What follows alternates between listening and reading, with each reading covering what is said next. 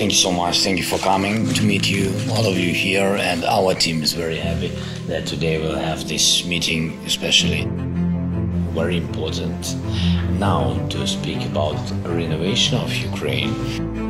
Сьогодні від імені Конгресу центральних місцевих рад, регіональних ми підпишемо цей меморандум.